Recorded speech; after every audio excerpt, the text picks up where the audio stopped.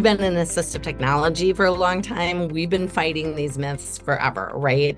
And so it's it's helpful to have the Department of Education behind saying, yeah, we know that these are the myths that out there that have been out there, and here are the facts for that, and pull those out of IDEA but then for what purpose, right? One, it is to have assistive technology um, in the hands of kids that and students and learners that need that.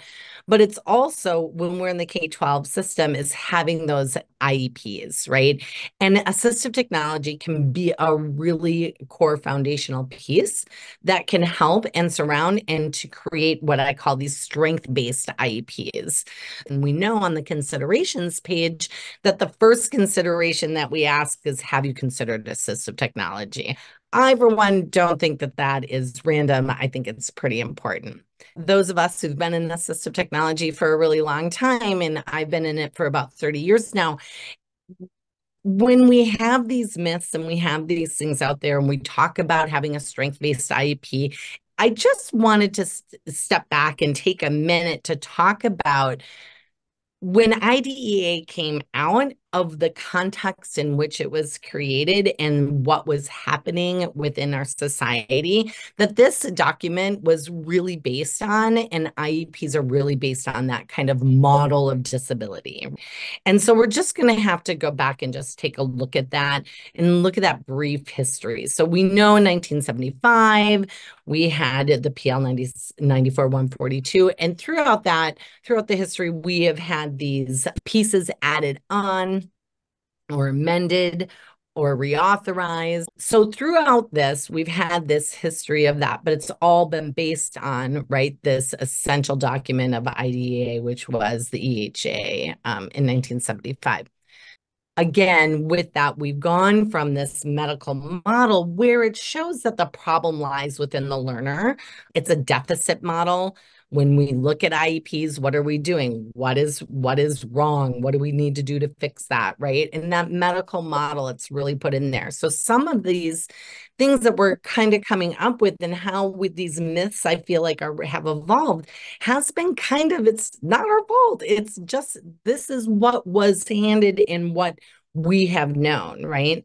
Now that we know better, we do better. And now we move as we're moving toward more of this social model of disability and where the problem lies within the environment. So just taking a step back and to know that, like, there's no blame at all when it comes to that. Like that was that's kind of just how it was created. And now we're to create something different try to do something different with the document that still sits within that medical model. Assistive technology is in IDEA. If you need to reference that um, for AT devices and services of which this document has been built on, I encourage you to go through that.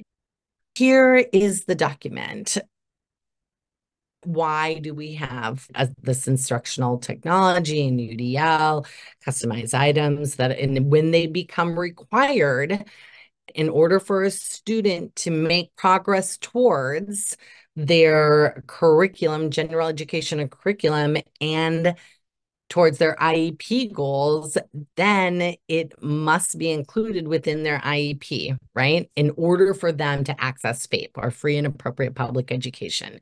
So, in the beginning of our little time together, we said, you know, what's one AT tool you can't live without? Could I actually live without text to speech?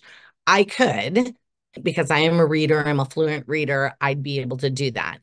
But for our for our readers that that is not the case or for our learners that that's not the case. And in order to access information and to make progress towards their general education curriculum and IEP goals they have to have that in order to have access then it becomes assistive technology